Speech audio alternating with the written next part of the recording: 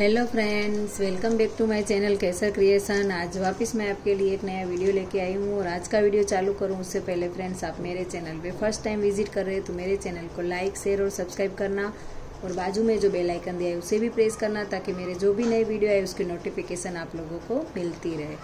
तो फ्रेंड्स आज मैं आपको पुरानी कुर्ती में से शॉपिंग बैग कैसे बनाते, वो सिखाने वाली हूँ। और ये शॉपिंग बैग जो मैं बनाऊँगी, उसमें ना लाइनिंग लगेगी, ना फोम सीट ना रबर सीट विथआउट ऐसे ही मैं इतने अच्छे से आपको बना के दिखाने वाली हूँ, ना जिप लगेगी।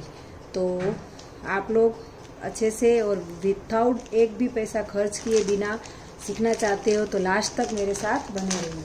तो फ्रेंड्स देखो, ये कुर्ती थी तो कुर्ती का जो बॉटम पार्ट था, उसमें से मैंने 29 बाय 18 के एक पीस मैंने कट कर लिया और ये बचा हुआ मैंने साइड पे रख दिया।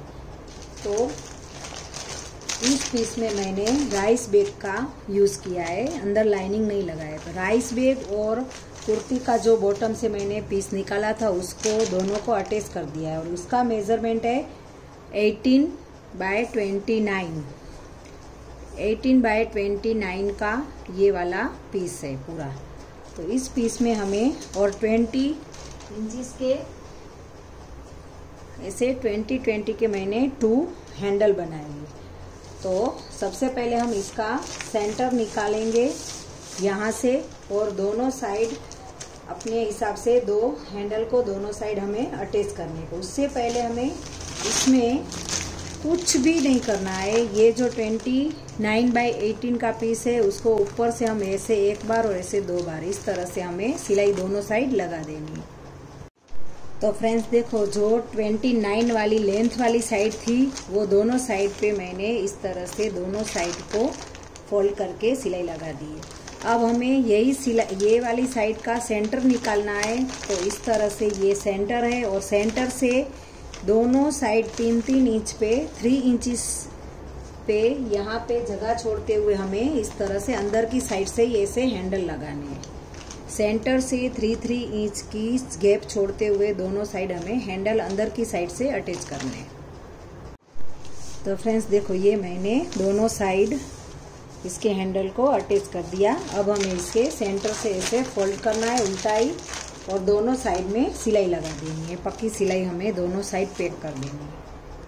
तो फ्रेंड्स, देखो, ये दोनों साइड मैंने पैक कर दी और अब हमें इसका अच्छे से बेस बनाना है। बेस बनाने के लिए यहाँ पे हमें 2.5 पॉइंट बाय 2.5 का एक स्क्वायर कट कर देना है। तो ये सिलाई से आगे हमें 2.5 लेना है। तो इस तरह से और ऐसे हमें 2.5 लेके ऐसे हमें कट कर देना है। तो ये दोनों साइड हमें ऐसे 2.5 के कट करने हैं और फिर उसको सिलाई लगाना तो फ्रेंड्स देखो यहाँ से मैंने इसे निकाल दिया 2.5 एंड 2.5 के दोनों पीस मैंने कट कर दिए।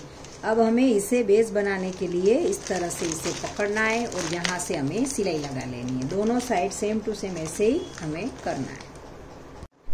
तो फ्रेंड्स देखो यहाँ पे मैंने सिलाई लगा के इसे कवर कर दिया। अब हम इसे पलटी करेंगे तो इसका अच्छे से बेस बन के निकल जाएगा।